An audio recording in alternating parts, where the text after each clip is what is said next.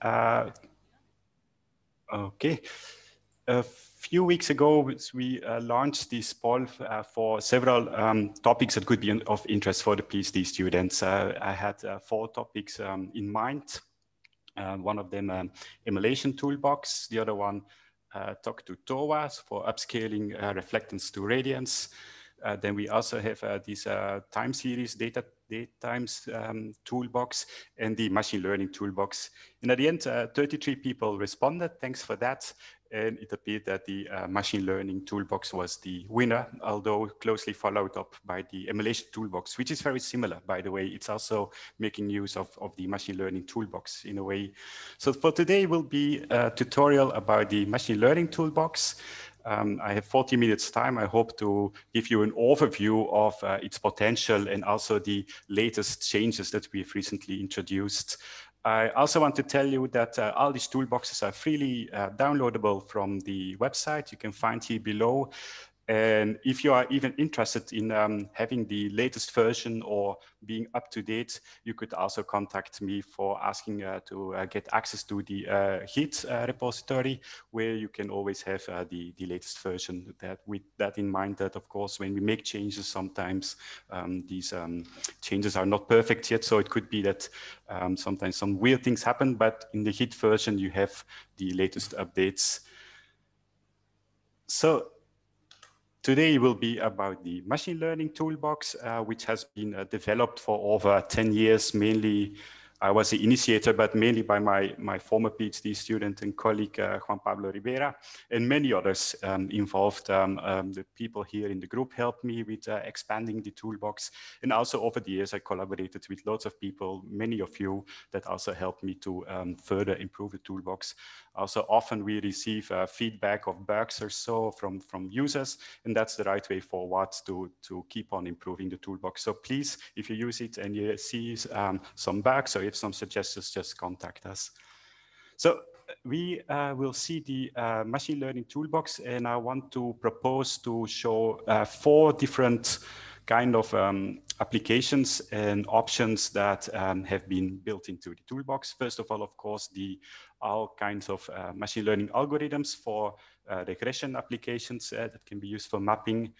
Um, also, because many of us, we work with uh, hyperspectral data, uh, second topic will be combining these machine learning methods with dimensionality reduction methods. Think about PCA, but there are many others. Third, uh, also, which can be very handy is using some tools for um, applying band analysis. So this will allow you in an automated way to find out the most sensitive bands for your specific application. And finally, um, so far, these uh, methods uh, are mainly used for, um, can be for both um, experimental data, so that you measure it in the field, or for uh, simulated data coming from radiative transfer models. Uh, when moving towards radiative transfer models, these are models that, that we um, call them so-called generic models.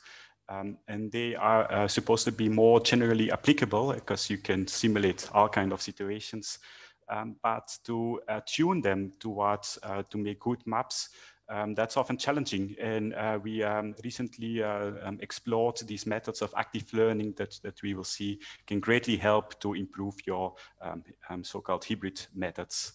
Maybe first a few words on uh, terminology. Um, so when we talk about uh, machine learning methods, in fact, they are from the family of the non-parametric regression.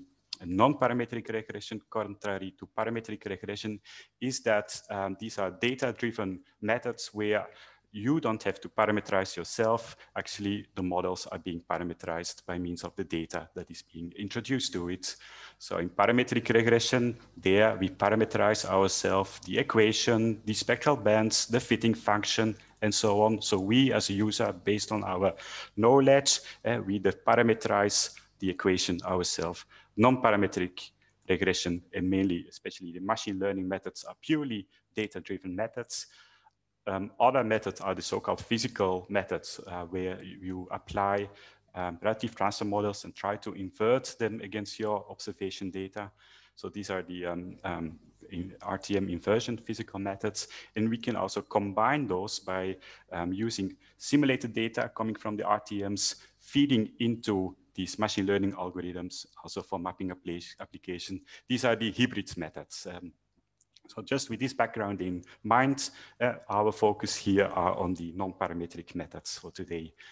Non-parametric methods are uh, statistical methods. Eh? So the, uh, we develop statistical relationships between, on one hand, input, typically reflectance data, um, but that also can be radiance data or fluorescence data, but uh, spectral data on the one part, and on the other part, the variable of interest, uh, the, the variable that you measured in the field, think about chlorophyll content, LAI, and so on.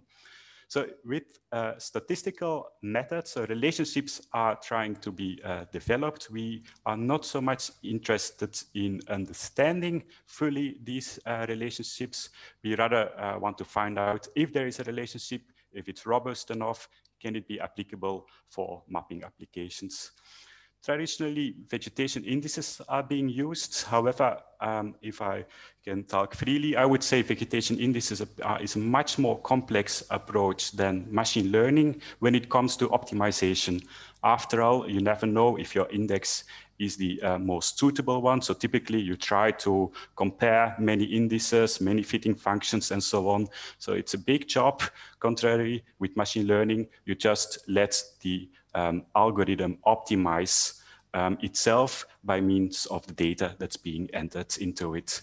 So the um, uh, machine learning toolbox is actually simpler than the vegetation indices toolbox as there is no need for selecting um, the uh, special bands or fitting functions or so on. All you have to do is just selecting your machine learning algorithms and then it's being trained, validated, and you can have your uh, mapping application a few uh, examples of um, uh, machine learning algorithms uh, implemented into the toolbox.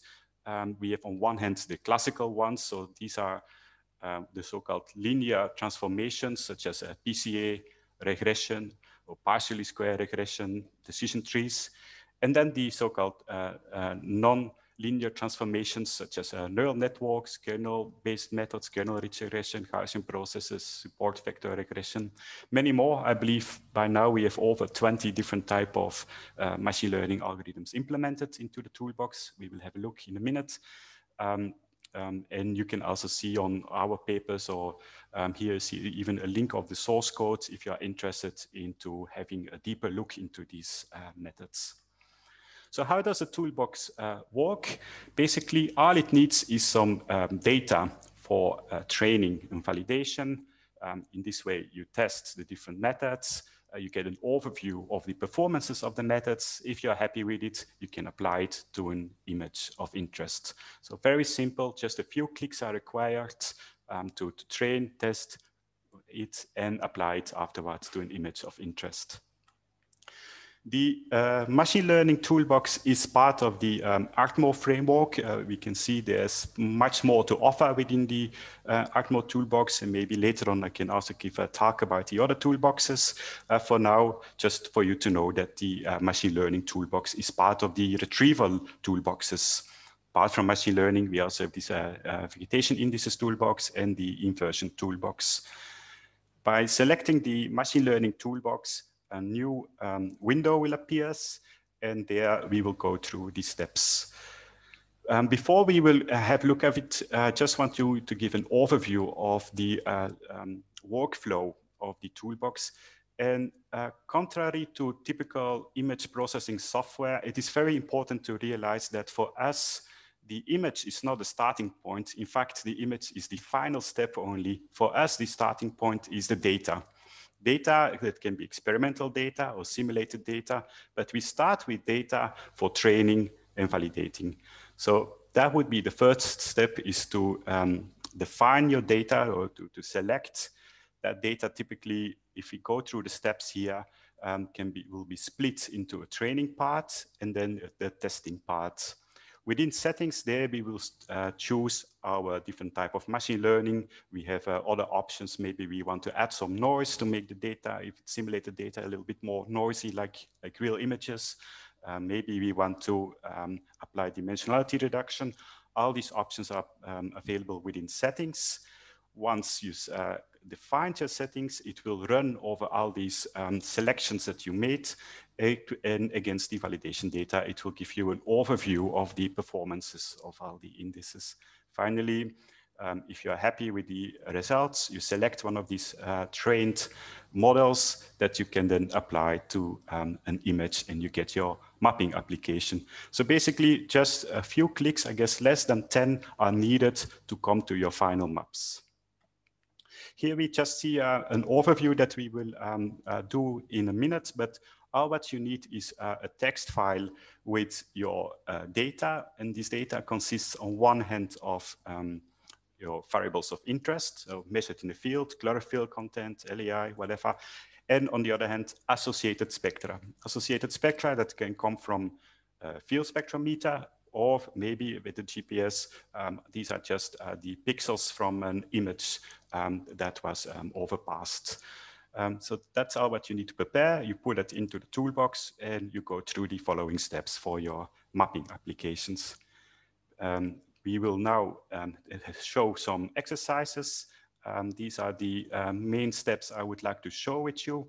Uh, basically, that we start with experimental data that was collected here within um, earlier ESA campaign, and we, let's try to evaluate these different um, um, algorithms. Maybe uh, just uh, before starting, a few words about how the data should be organized, because this is actually the most important to know uh, when aiming to use these uh, these toolboxes, how to organize data. So on top um, rows, we have uh, variables. In this case, we have um, five different variables. Um, I know that line two is chlorophyll content, line three is LAI, but it can be anything. By the way, it does not have to be vegetation. No, for the people of um, soil science or uh, in water, it could be other kind of variables as long as these are on top are the variables and then underneath are the uh, spectra that can come from spectrometer or from pixels with the um, most left um, column these are the wavelengths. So that, that's the all of the information that is required. And um, um I can continue with the presentation but from here let's just move to uh, MATLAB and to the toolbox. Um, all you have to do first, once you have uh, uh, you have the path correct of the toolbox, you just type Artmo, and then the toolbox will be launched. And from now on, I will just continue with um, showing the possibilities directly with the toolbox.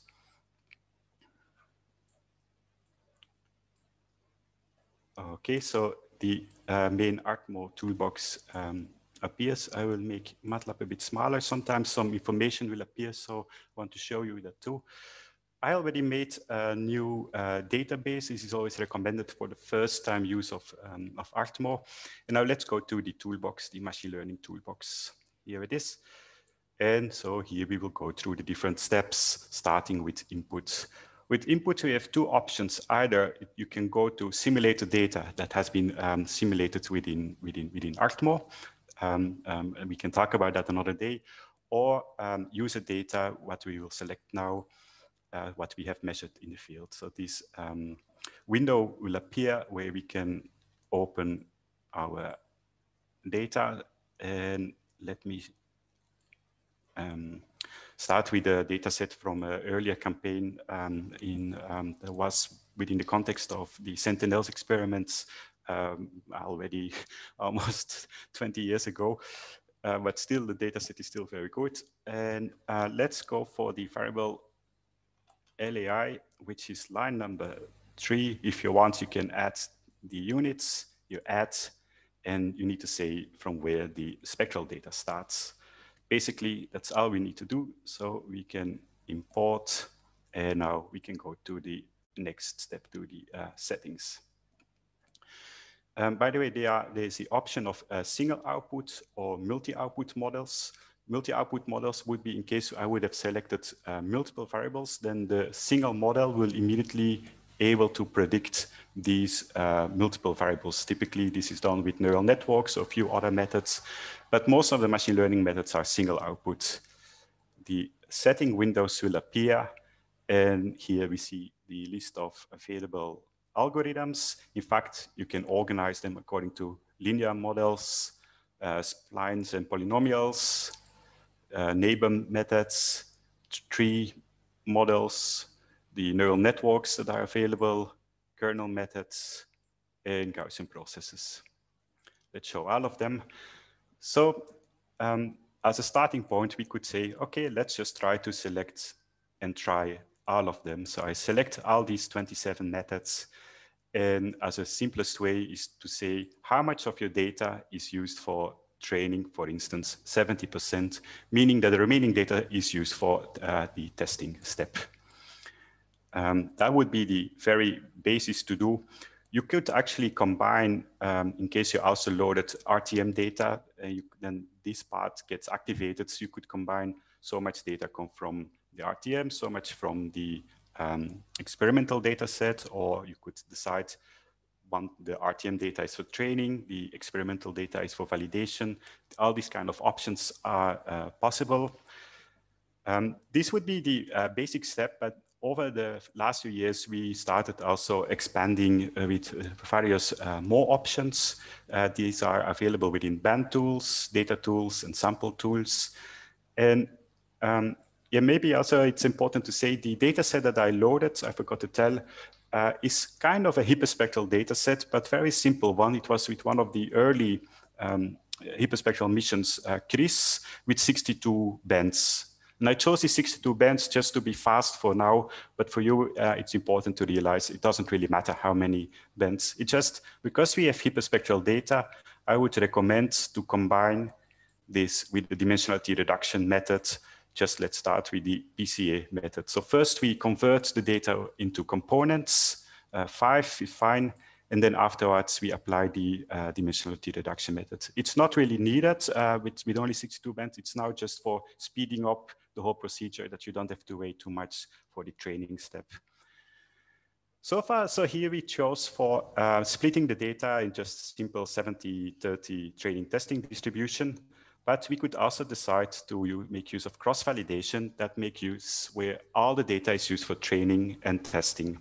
And let me do that so that you get a, a nicer um, um, results of um, not only the models will be more robust since all the data is used, but also the validation is also uh, with more points. So I um, activate cross-validation and to be fast, let's do uh, a k-fold with three subsets. So the data is uh, split into three subsets. Uh, two of them is first used for training, the third one for testing, and then it rotates over these three subsets. In that case, this part got deactivated.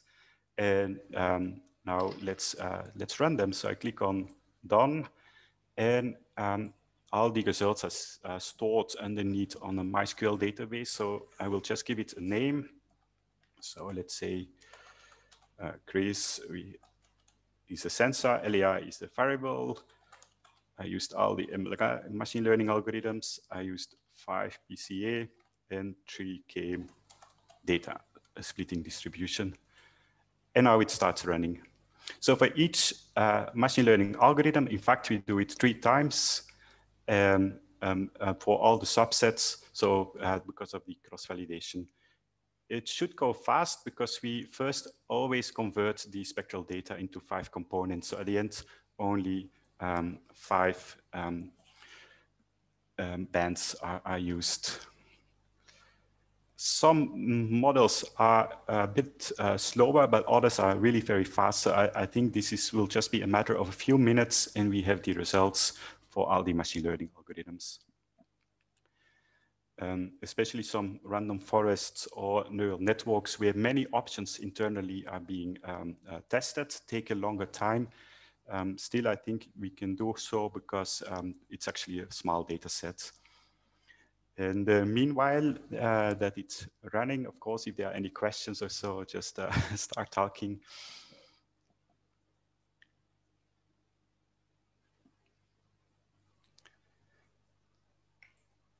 Hopefully this will not take too long time. I had tested it yesterday, um, but of course then I was not using Zoom. Maybe this is the reason why this will be slightly slower. In any case, uh, meanwhile, I can continue uh, with the presentation and then let's have a look to the results. So, um, so this is the um, input data that we just uh, saw. Um, there are a few more options. For instance, sometimes you want to convert your spectral data um, to different units because your image is in different units. So you always need to make sure that your training data is exactly on the same units as your, uh, your image. This is a step that we are uh, doing right now. There are also options to add uh, noise. This is especially handy in case of um, simulated data that you want to make more noisier, um, that it looks more like, like real images. These are the uh, multi-output models that we have available. So we have five of them, um, meaning that uh, they develop a model directly for all the variables of interest. So one single model will immediately give you LAI, chlorophyll, and so on. We um, just also uh, we're introducing dimensionality reduction. So I just was uh, using uh, PCA, but in fact we have um, 11 different type of dimensionality reduction methods later on, I hope to uh, show an exercise. In fact, PCA is really powerful, and, and, and I always use PCA. But, but if interested in trying, sometimes you get slight improvements by um, using these alternative uh, dimensionality reduction methods, especially, for instance, the uh, kernel uh, PCA or kernel version of the uh, classical dimensionality reduction method. So they are nonlinear they um, are supposed to be um, a little bit more powerful because of doing nonlinear transformations than the classical ones. Yet, in my, in my experience, the differences are, are very small and it just takes longer uh, training time.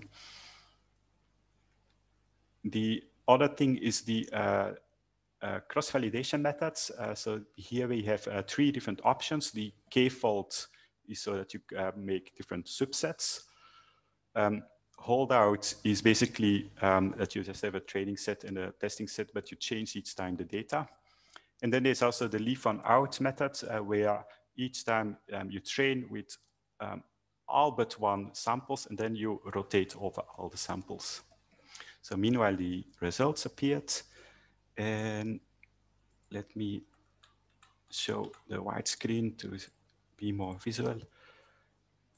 And now let's have a closer look to these, all these results. First of all, it gives you an overview of the different methods and it is uh, sorted according to a specific statistic, in this case, uh, normalized root mean square error, but we could also decide to sort it according to R squared. In principle, not much should change as these uh, goodness of uh, fit um, indicators are somehow related. So in this case, these Gaussian processes is top performing with a R square of, of 0.98 uh, with this um, 3K cross-validation. And then you can see the performances of the other methods. Originally, there were 62 bands, but it got converted into uh, five components using PCA. Now let's have a closer look to these results. And you can do so by clicking on plot.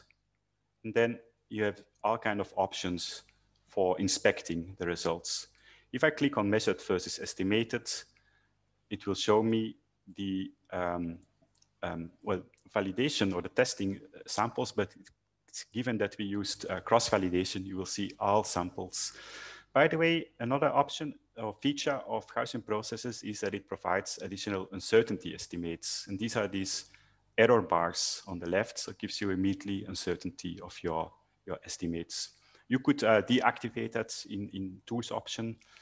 And this is only for uh, the uh, Bayesian method, so the Gaussian processes. So if I would uh, take the second best method, sorry, and click again on plot, this is what you typically see, the classical measured versus estimated uh, um, figure. Um, that would be the first thing always to, to inspect. But there are many more options. And let's have a quick look at it. So measured versus estimated. We could also plot the residuals. We could also calculate some um, advanced statistics or show the results of the training data set. In case of Gaussian processes, a few um, interesting um, properties also appear, such as the um, band ranking of um, the uh, used bands. So if I select this and I click on plot, there appear uh, some uh, band ranking, and these are actually um, also the um, standard deviation of the um, bands, meaning that the larger the standard deviation, the more variability or the less um, useful it appears for this model. So meaning that actually this model above all was making use of, band, of component number one, component number three, and component number five with the lowest values.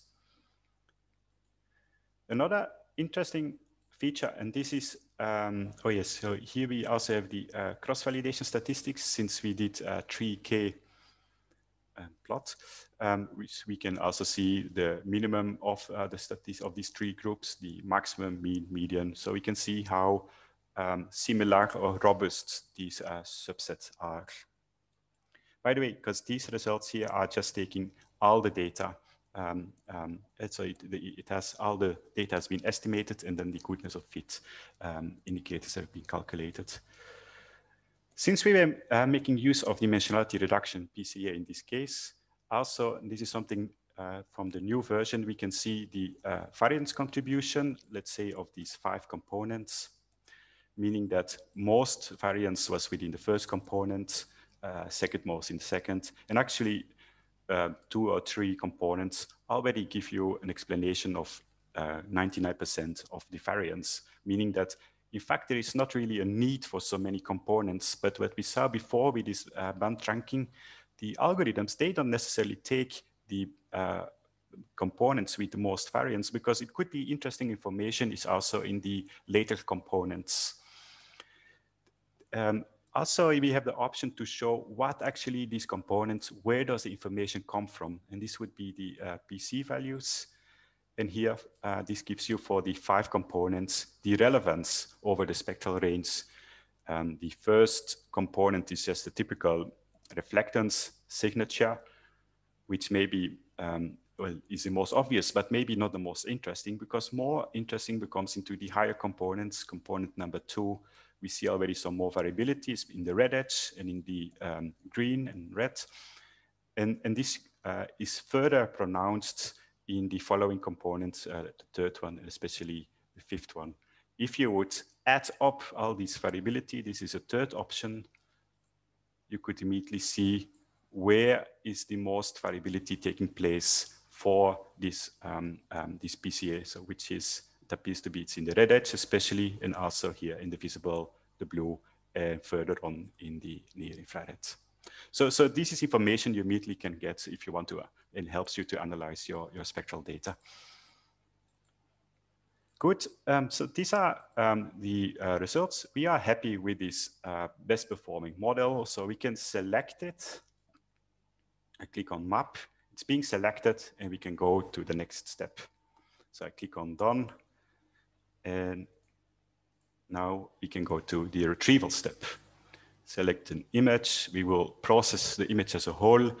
There's also a possibility to develop models per land cover class. Uh, for instance, maybe you have data just for grasslands or data for forests, so you could combine that. But in this case, I will process the whole image.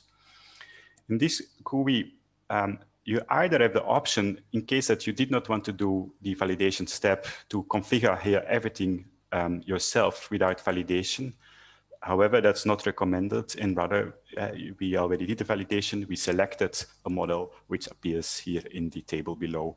So that's the model we will apply now to uh, an image. This will be this GLIS image, spaceborne um, hyperspectral image. I just have to select it and afterwards, an output name is automatically being uh, suggested. So, so, in case this is a Gaussian process from MATLAB and the LAI variable, I'm happy with this name, and let's process it.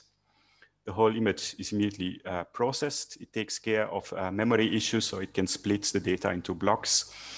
And finally, our, our map um, appears. Moreover, with Gaussian processes, we have uh, additional information such as these uncertainties on one hand, we have absolute uncertainties, standard deviation around the estimate, LAI in this case, which gives us information um, where the model is performing um, more uncertain, the higher values more uncertain.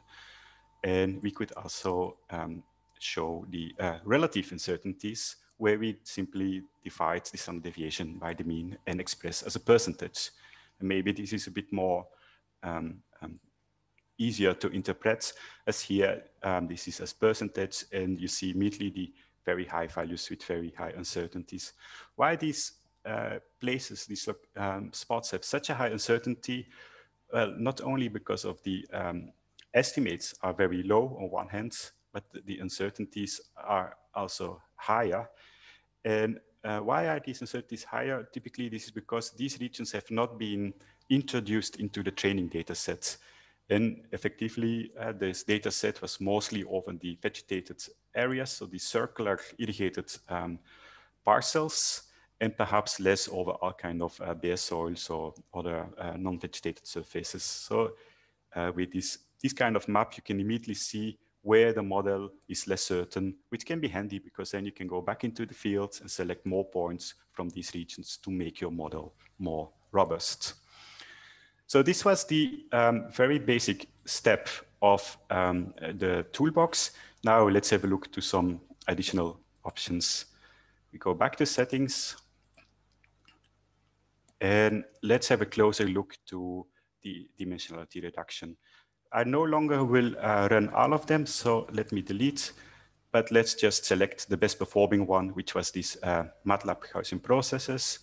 And let's now try to see the impact of dimensionality reduction. So we had PCA, but we have many more options. Let's just try all of them uh, for five components.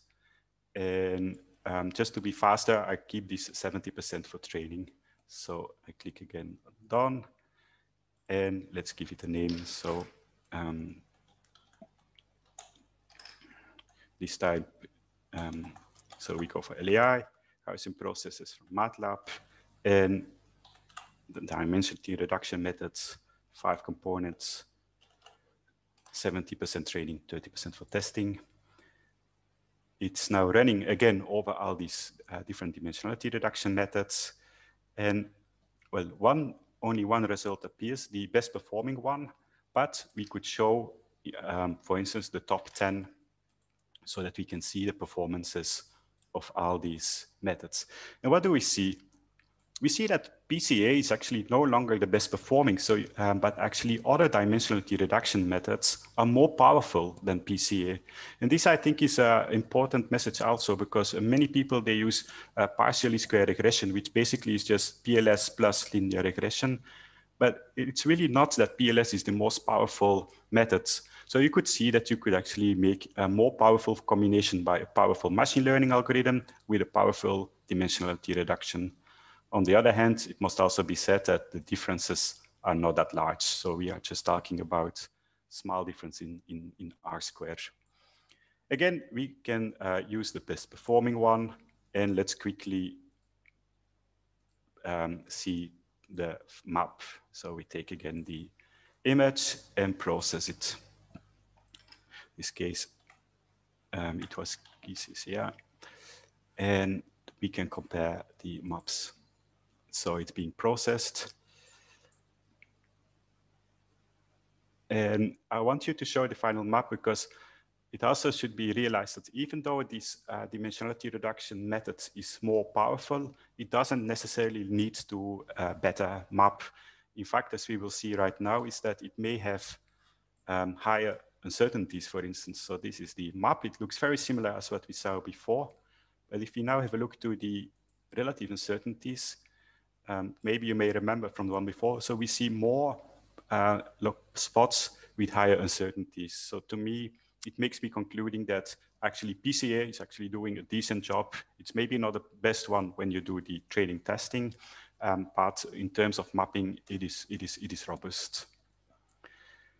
Okay, so this has the uh, dimensionality reduction part. Now let's have a look to some more options. Uh, for instance, band analysis to uh, select the or find out the most sensitive bands of our spectral data set. And these options are um, to be found here um, in band tools. We have a Gaussian processes band analysis tool, random forest band analysis tool, and kernel ridge regression band analysis tool. And they all work in the same way. We earlier saw that um, uh, Gaussian processes provides this band relevance the way it works is that it first removes from all the data the least performing, least um, relevant bands, does again the regression analysis, and again removes the least performing band, does again the regression analysis until finally only one band is left, which is supposed to be the most sensitive band. So let's run this quickly.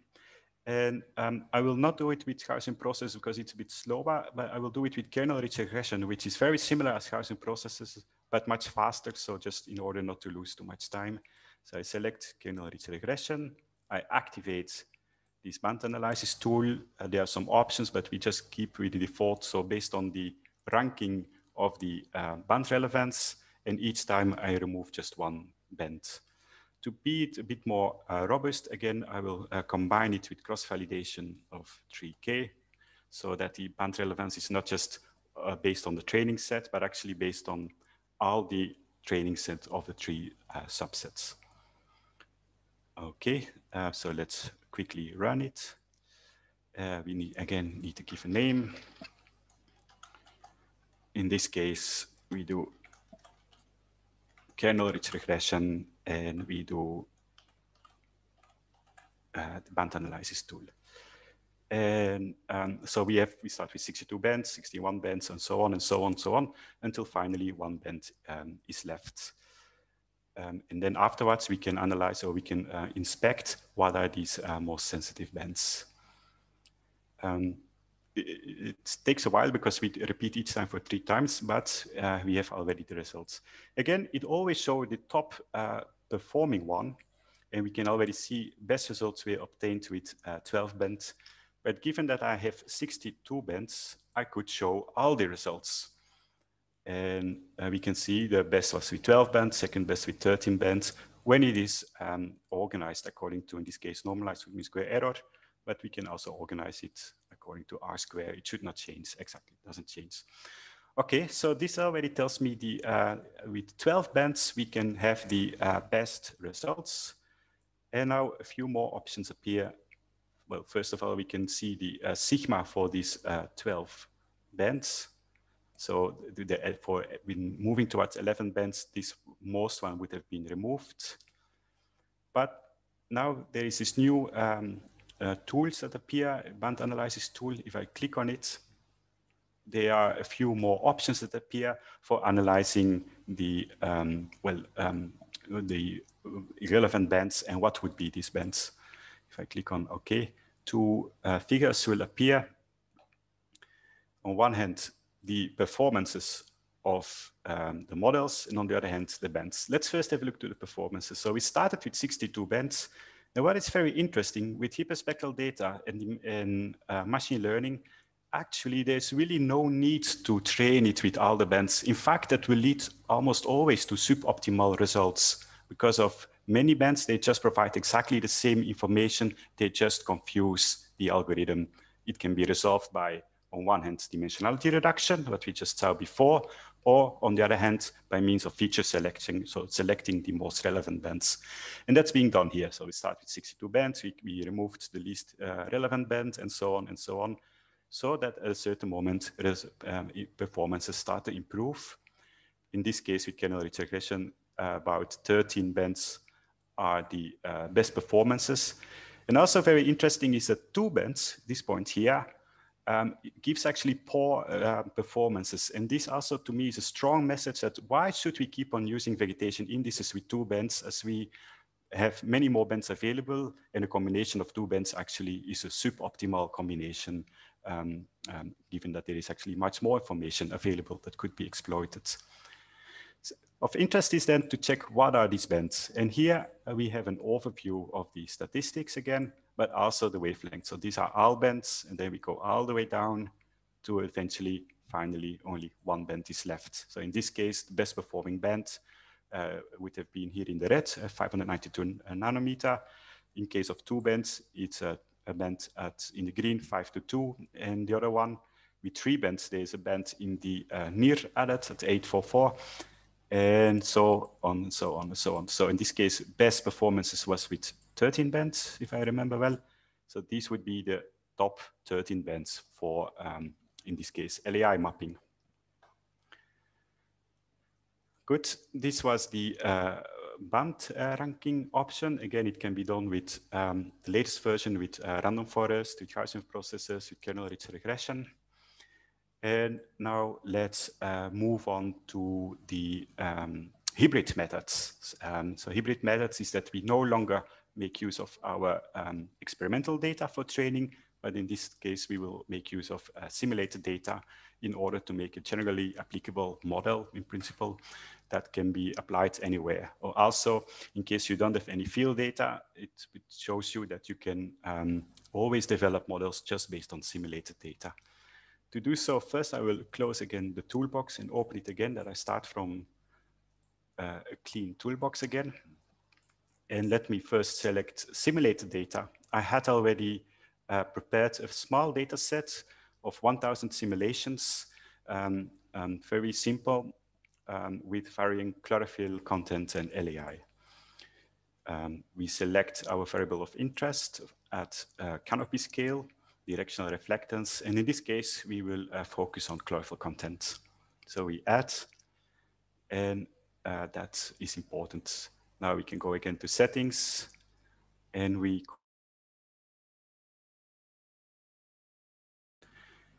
um, before we saw that uh, Gaussian processes was best performing. So let's try that again. And let's first try a simple test with all this data, just for you to realize that it's not that easy using simulated data for model development because simulated data is never the same as real data. And in fact, typically we need to apply all kind of manipulations such as adding noise, optimize the lookup table and so on and so on.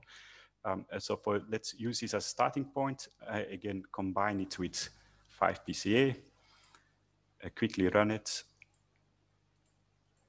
And so in this case, we have um, chlorophyll content with ProSail, 1000 simulations, 5 PCA.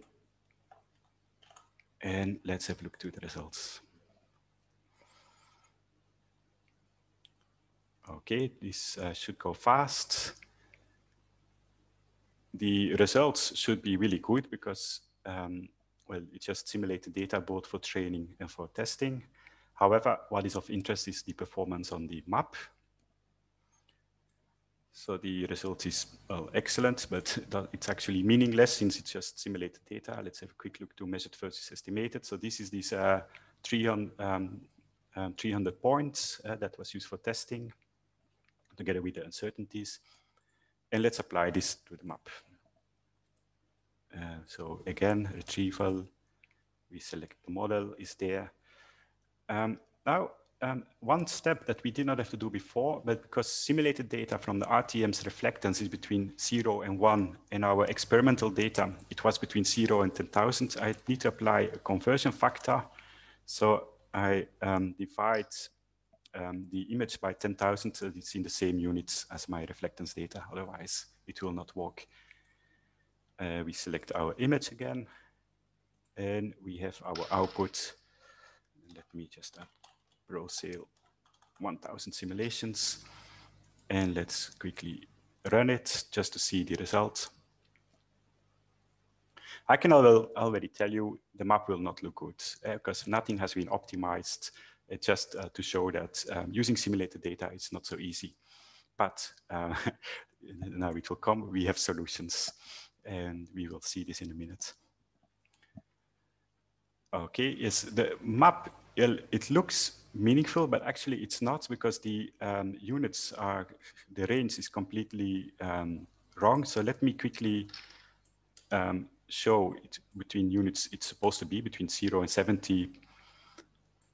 And then we can already see that there was a heavy overestimation. The whole image was uh, overestimated. Map is meaningless. Also the uncertainties, you can see it's very poor. Okay, let's keep this map just as a reference. So now let's start with um, trying to come to improve. And for this improvement, I would like to introduce a new tool that we have uh, recently um, explored, and, and, I would say it's quite successful.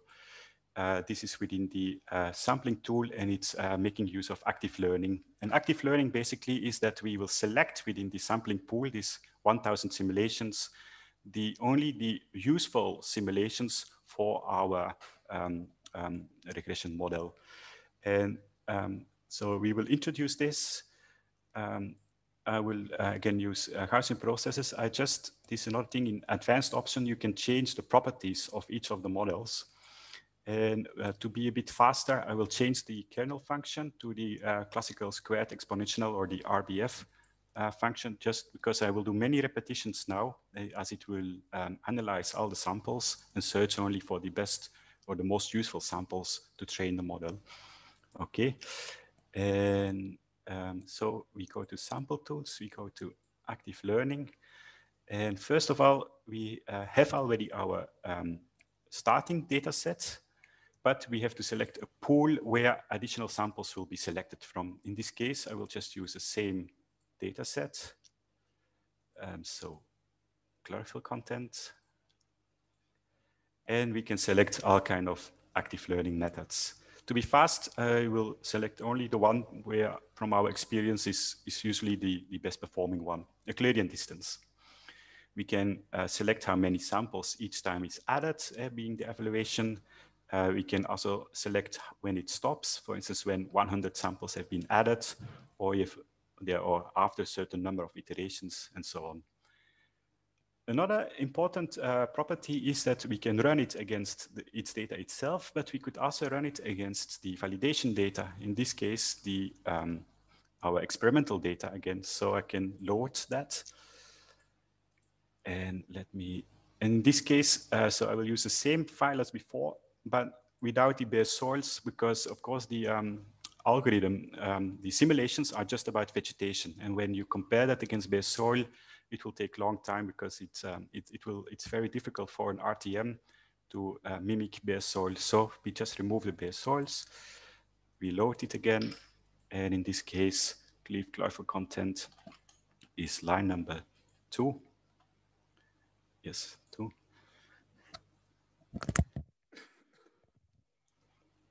And the first line starts at seven. And uh, also important, again, I need to convert the units that it's the same as reflectance between zero and one. Okay, so let's load it. It's okay. And I guess that's it. Okay. Um, yes, so the matching chlorophyll content from the original data set and from the uh, pool should be the same. And also against the user data. Okay. We no longer start with 70%. No, in fact, we start with a very small pool with a starting data set, so let's say 1%, and then it will add or analyze the um, samples from the pool data set. Uh, to be faster, again, I combine it with uh, principal component analysis. Okay, that should be it. I just have to activate this again. Okay, to go to, and let's run it. Validation. So we have again, in this case, leaf chlorophyll content, ProSail active learning. Um, and let's start running.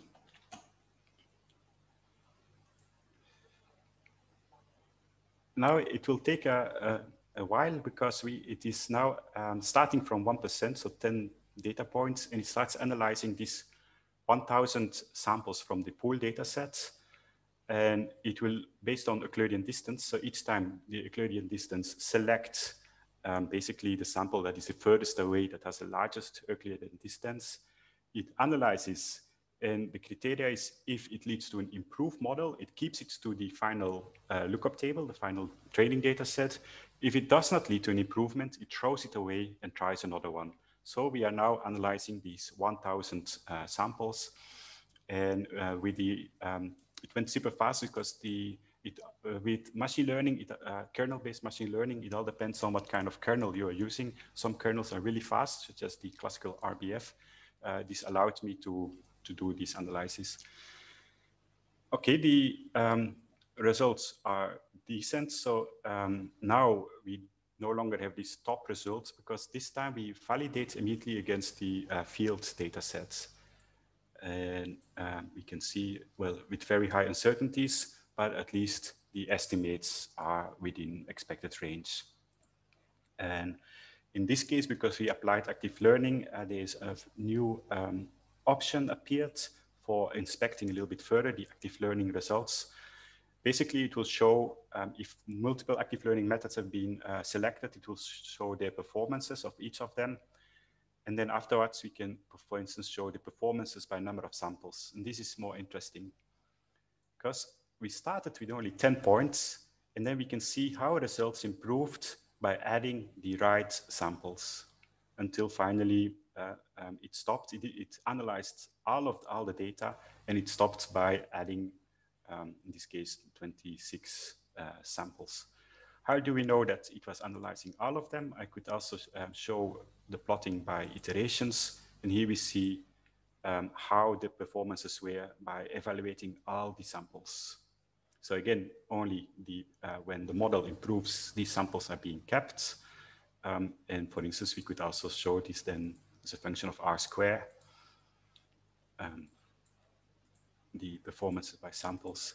So we can see that the R square also improved perhaps not always, because at the end, the stopping the criteria for keeping it was based on R root mean square error and not uh, on R square. But you can see that the results um, improved until a certain uh, plateau.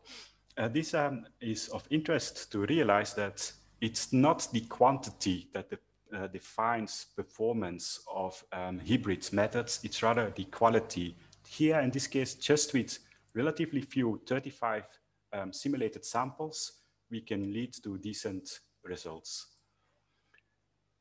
And let's have a look now to the map, and that would be the uh, closing of a session. I know I'm over time, I apologize. And so let's select it again and apply the map. Um, I need to make sure to convert, since we make use of simulated data, we select the image and we have the outputs of active learning in this case. It's running again, it went much faster. And look at this, look how much we improved as compared to the uh, data set when using these 1000 simulations. Now the units make uh, sense uh, between zero and over 70, and probably also the uncertainties now will make sense. So let me plot the relative uncertainties. Well, they are not too good still. Um, so I was hoping better results, but so let me close this one. Let's have a look to the absolute uncertainties. Uh, they are quite high, so um, it's saying that even though we got meaningful results, um, the model um, is still rather uncertain. But still, when we compare against to the original map, we can see that at least the estimates, they make sense.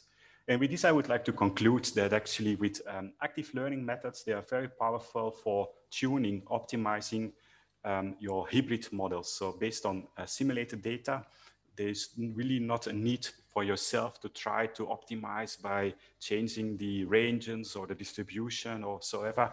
Just let it do by means of a clever algorithm, uh, do intelligent sampling, for instance, Euclidean distance, let they choose the correct samples and evaluate it so that at the end, the computer can make for you an um, optimal model. Now you could um, uh, criticize me here that yes, uh, maybe that seems fine, but you are actually optimizing against experimental data, making it no longer uh, generally applicable, which is true. But here you can also play with the amount of simulators that you keep as starting points. In this case, I kept only 1%, so 10 samples as starting points, but you could also decide, okay, I take uh, 100 samples as starting point so that it's really generic, and then I add more samples by means of um, active learning. And um, I think with this, I showed the uh, main features of um, the toolbox. Um, maybe I should also show you a few small options before closing. Within tools, you can always remove or rename um, earlier experiments because it's recommendable every now and then to clean up because everything is, stored within your computer. Within active learning, we have 1000 models being generated. So it's recommended to remove. Within tools, you also have options to uh, view your map again or view figures again. In validation, in loads, you can always go back to your um, earlier um, results. In this case, for instance. Uh, so let me show this exercise we did with all of them. And uh, there's uh, one uh, plotting option I forgot to show, but I think it's really interesting. And this is we are working on right now is uh, also sample relevance. And apart from band relevance, it is also possible to view the uh, importance of each of the samples within your training data set. So again, the larger the bar, the less important it is. Together with my colleagues here, now we are also developing kind of active learning as a sample analysis tool. So you remove the least important sample, you retrain again, and so on and so on. So in this way, also to optimize your sampling uh, domain. I think this was all. Um, I'm, a, I'm, a bit over time. I will uh, stop now with, uh, with sharing. And if there are any more questions, uh, please, uh, please let me know.